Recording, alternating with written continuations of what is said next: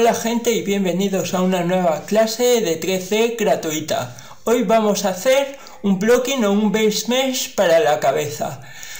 Sí, una cabeza humana normal y corriente eh, y que nos va a servir también, por cierto, para el próximo reto del que os hablaré, si me es posible, mañana.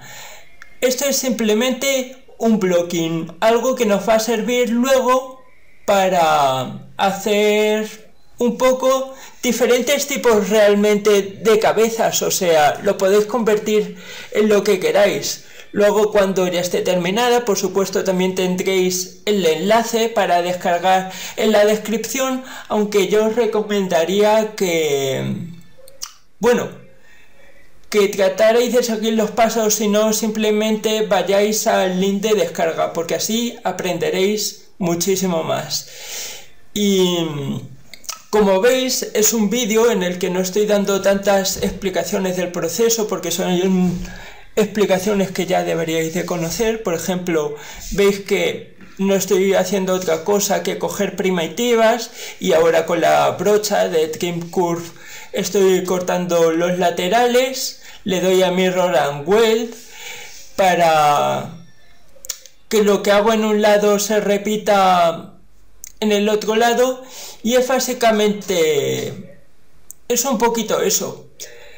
Eh, por supuesto todas las cosas que yo tengo en, en los menús de arriba y de abajo no es la interfaz de por defecto es una interfaz personalizada que me he creado yo pero son herramientas que podéis encontrar por el ZBrush, así que sin ningún problema. Por ejemplo, lo de Mirror and Weld ya sabéis que está en el menú de Geometry.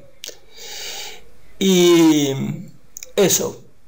Voy a arreglar un poquito el tema de las proporciones, tanto de la cabeza como a lo mejor del cuello.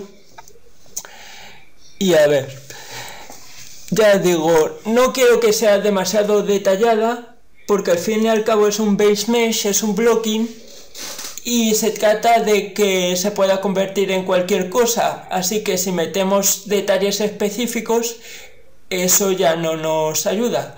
Voy a disimular un poquito también lo de los laterales porque ahí luego irán las orejas y bueno, no me interesa de que se vea eso. Bien. Y bueno, también como os decía, el reto de este mes de enero va a ir sobre cabezas y bustos, así que estad pendientes e id haciendo vuestro blocking también mm, y así luego os ahorraréis trabajo. Ahora voy a insertarle los ojos con la brocha de insert mesh, pero luego los voy a separar. Eh, me voy a split, split unmasked, no se ve por el por mi logo y tal, pero es básicamente eso, lo que hace es separarlo en otra subtool y estoy cogiendo la esfera normal, la que tiene polos, porque con esa esfera se me hará luego en un futuro más cómodo el tema del texturizado. Y los ojos será la única pieza que luego no voy a combinar. Entonces los meto un poco más para adentro, los junto un poquito y algo así yo creo que ahí podría estar bien y de nuevo duplico esta pieza como si la hago un poco más grande y la duplico una vez más y esto en un futuro se va a convertir en los párpados, el párpado superior y el inferior. Para separar los párpados, pues de nuevo con el trim curve corto en el de arriba la parte de abajo y viceversa, en la parte de abajo corto la parte de arriba. Es simplemente recortar. Y ahora por supuesto con la herramienta de mover trato de darle un poquito más la forma de los párpados. De nuevo, muy, muy esquemáticamente, de forma muy básica, que se vean los ojos a través. Aquí no estamos tratando de hacer una cabeza súper realista, súper detallada, ni nada por el estilo. Esto es un base mesh. O sea, repito, esto lo podremos usar en un futuro para hacer todo tipo de cabezas, de cosas más realistas a cosas más estilizadas y las proporciones son un poco generales. Si queréis ver un poquito una guía de cuáles son las proporciones correctas, em, por supuesto mirad referencias.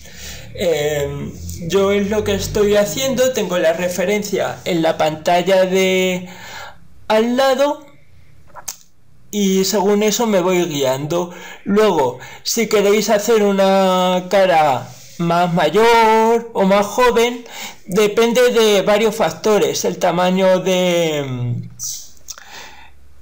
Bueno, sí, el tamaño de la mandíbula, em, la posición de los ojos, esa clase de cosas. Pero si tenéis una base estándar, luego Luego será mucho más cómodo que si lo hacéis todo completamente de cero. Es algo que os alivia bastante tiempo. No es cuestión de que hagáis la misma cosa una y otra y otra vez, a menos que estéis aprendiendo, por supuesto. Y como digo, em, tratad de seguir un poquito el tutorial, no vayáis directamente a descargar el modelo porque si no es que no tiene gracia, es que así no, no aprendéis. Es un tutorial completamente gratuito y el, la cabeza va a ser del mismo modo, completamente gratuita, para que podáis descargar y para que hagáis vuestros modelos. Mm, y como siempre, por supuesto, espero que os sea de utilidad. Vamos a colocar, como veis, un poco la nariz con, de nuevo, primitivas básicas, un cono.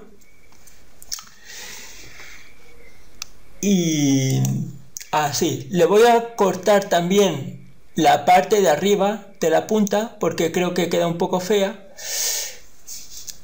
Y eso. Así más o menos podría ir quedando.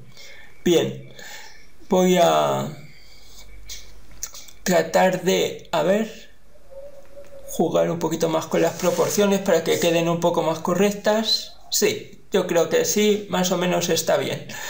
Voy a darle un poquito más de forma de nariz, sin pasarme, pero un poco. Eso es. Bien. Y voy a meter quizá un poco más los párpados porque me parece que sobresalen demasiado. Y voy a tratar de colocar por supuesto también los ojos ya que si hemos metido los párpados hay que meter también un poquito los ojos y voy a voy a tratar de recuperar un poco la forma ya que la mayor parte de los párpados se han metido por dentro de la cabeza y me interesa recuperarlo y bueno esto es un poco lo que os quería ir enseñando. Veis que es un poco diferente a lo que mm, estáis acostumbrados. Eh, para mí esto es un formato más cómodo porque aunque tenemos explicaciones no estoy tan al pie del cañón.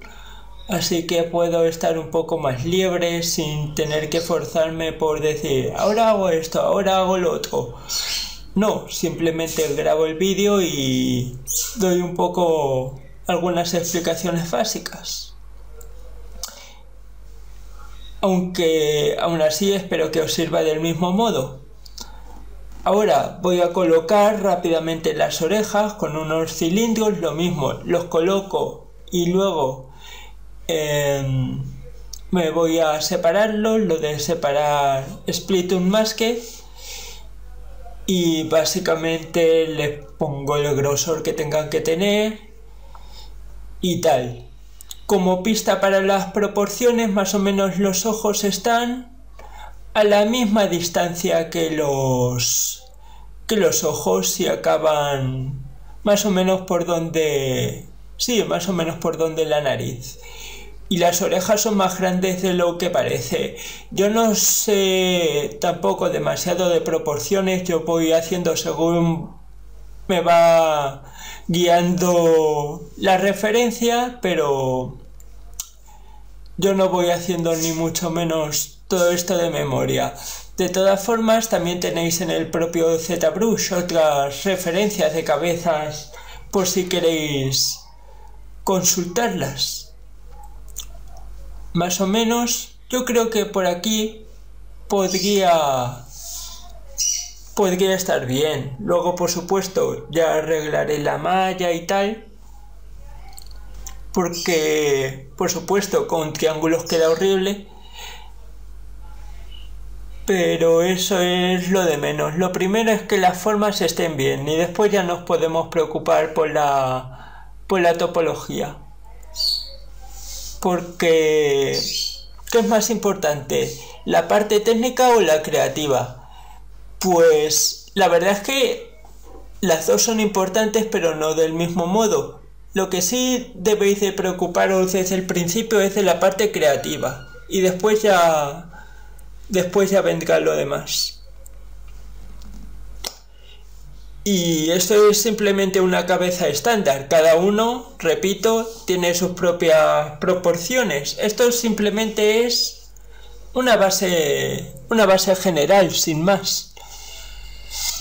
Mm, a partir de esto, incluso podréis hacer cosas que no son tan humanoides, podréis hacer, yo qué sé, mm, una cabeza de un extraterrestre o algo por el estilo. O incluso modificando algunas cosas, por supuesto, la cabeza de un animal.